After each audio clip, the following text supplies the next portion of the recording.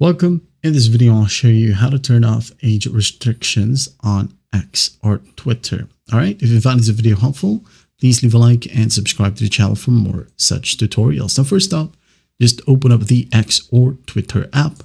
And once done, go to the top left and uh, tap on your profile picture. Okay.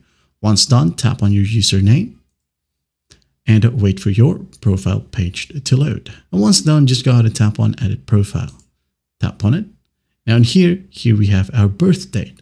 Make sure that your birth date is set to 18 plus, okay? So just tap on it. Now first, you're gonna wanna tap on remove date of birth, okay? If it's set to below 18 plus. Tap on remove and once done, tap on remove once more and just go ahead and tap on add your date of birth.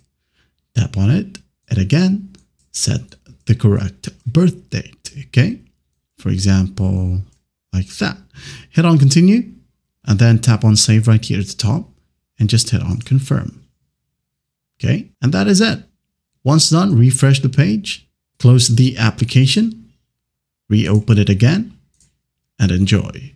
Well, I hope this video helps and I'll see you in the next one.